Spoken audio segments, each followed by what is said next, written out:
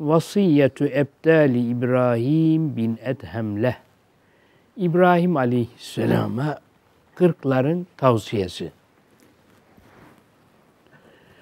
Kale es-seyyid el-celil İbrahim bin Ethem rahimehullah nezele bi edyafun fealimtu ennehum ebdalun.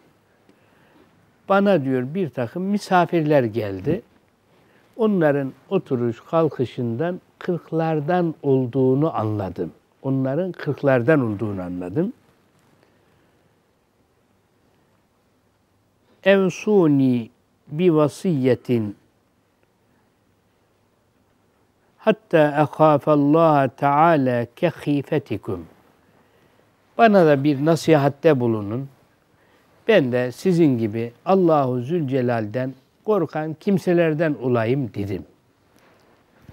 O zaman galu nusike bi seb'ati eşya sana biz yedi nasihatte bulunacağız dediler. Birincisi men kethura kelamu fela tetma fi yakavati kalbi kalbehu men kethura kelamu kimin sözü çoğalacak olursa artık bu yalanlı, gıybetli, iftiralı, dedikodulu da değil. Faydalı bir kelam da olsa böyle uzattıkça uzatıyor. Eğer bunu çoğaltırsa yani günah olan bir söz değil ama mayanidirler buna. Mala yani boş söz. Mayani gerekli sözü uzatmak. Evet o konuşulacak ama çok uzatıyor. Bir çok uzatıyor. Böyle konuşursa fela tatma fi yakavvati kalbi. Kalbinde Allah böyle bir uyanıklık duyamaz. Kalbi böyle taş kesmiş gibi olur. Duyarsız bir kalp olur. Ayeti celileyi de duysa, hadis-i şerifi de duysa, ehlullahın kelamında duysa kalbinde bir yumuşama olmaz. Men kethura taamu fela tatma en tasile ileyhil hikme.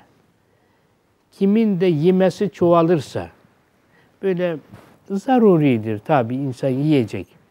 Ama haddini aşacak olursa diyor, haddini aşacak olursa yemede o kimseden de hikmet zuhur etmez.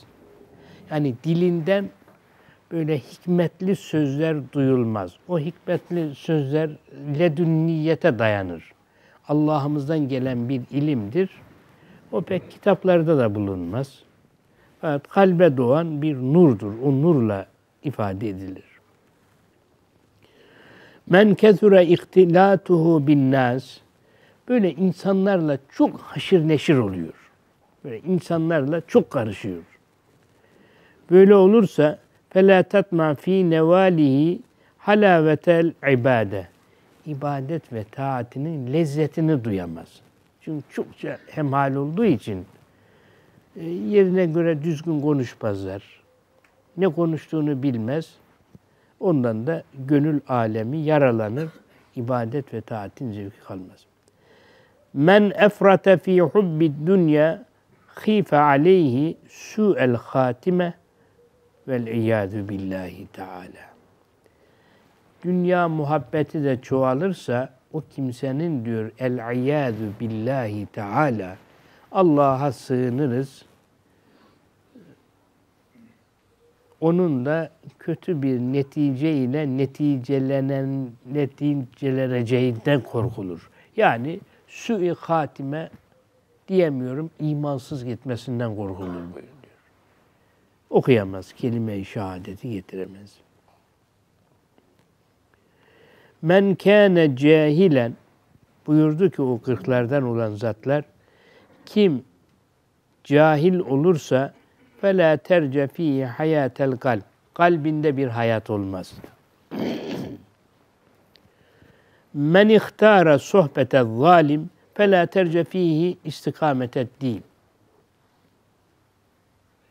şimdi zalimlerle konuşup görüşmeyi artıracak olursa, artıracak değil konuşursa, ben men ihtara sohbete zalim, zalimlerle görüşmeye başlarsa, fela terce fihi istikamete din, onun dininde de doğruluk olmaz. Çünkü zalim bir yön çizer, bir husus söyler ama onun ne kitapla ne sünnete hiç alakası olmaz.